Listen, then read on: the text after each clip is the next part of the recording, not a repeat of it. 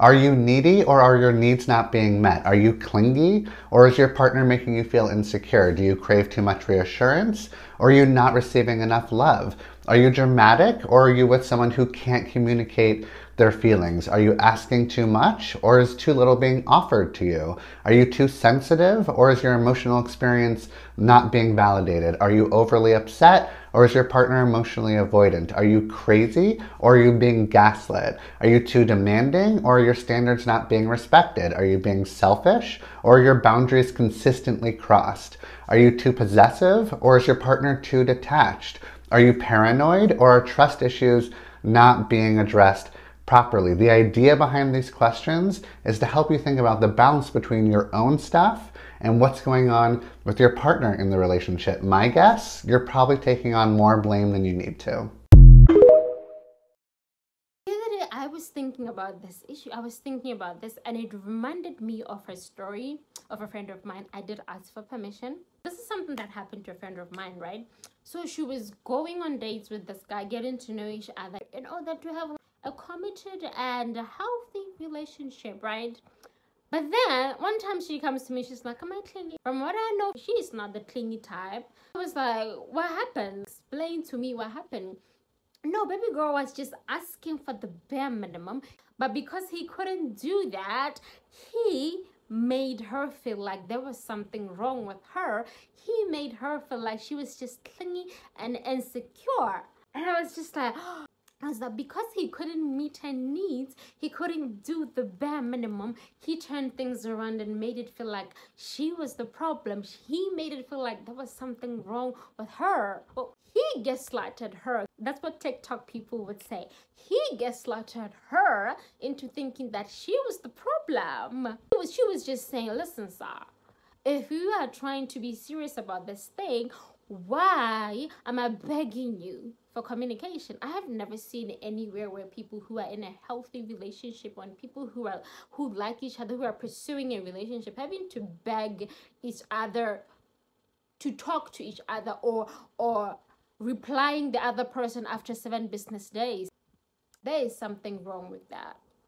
Only to find out that this guy, he wanted a situation situationship instead of a committed relationship. He wanted to benefit everything that a committed relationship offers without the responsibility of the whole thing. So he wanted to push for a situationship.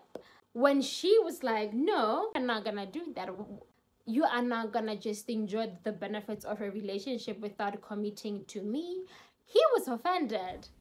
One of his biggest problems is that he did not stay what he wanted from the beginning.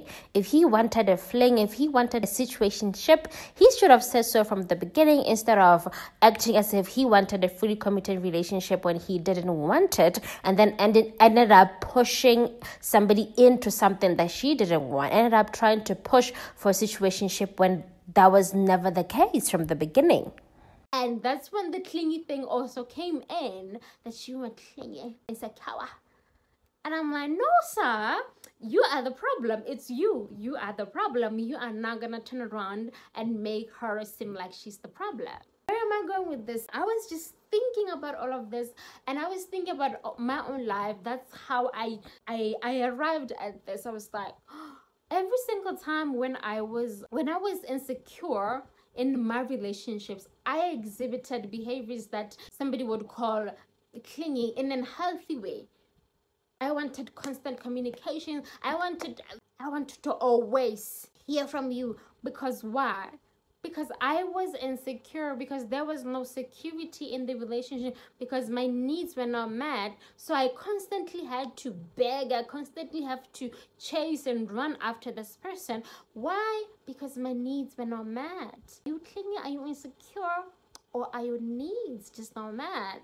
If you were secure in that relationship, you would not be chasing after that person. You would not be begging people. You would not be clinging so hard to somebody who is not interested. There is no security at all.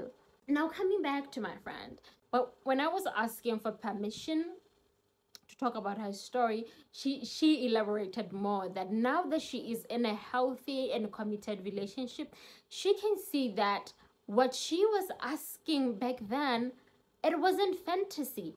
But because that guy was not interested in in doing all of that, in doing the bare minimum, he made her feel like what she was asking was a lot, what she was asking was a fairy tale, and that she was asking a lot from guys that makes her unlovable. Oh, the, oh, the audacity of this man, Mr. Man.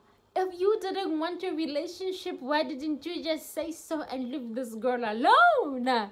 Instead of making her feel like asking for the bare minimum as her asking a lot, a lot. We just want a lot from guys. Nobody would ever love you like that. Can you not do that? Just wanted us to think about the fact that you know what? You know what? It is good sometimes. It is good to look at yourself and think, Am I the problem? Sometimes you're not the problem. Sometimes it's somebody else running away from their own responsibility. Is somebody else is somebody else not admitting their own faults that now they're pinning things on you, making you feel like you're the problem when you're not even asking for a lot.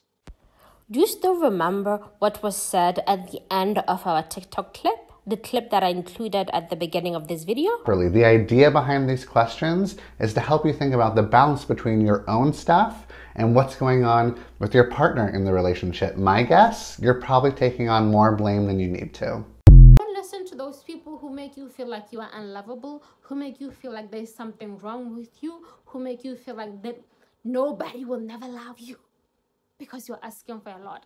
I have met somebody like that. I met somebody like now that I think about it, I met somebody like that where I was just stating my preference that I don't like I don't want one, two, three, four. And I was not even begging him. I was not even asking him to be that person. And he thought it was so funny.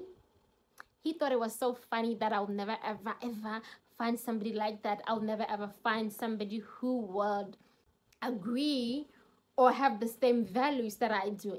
I thought it was it was ridiculous. There's nothing new under the sun, baby. If there's something that I don't like, there's somebody else out there who doesn't like the same thing. There's somebody out there who has the same values as I do.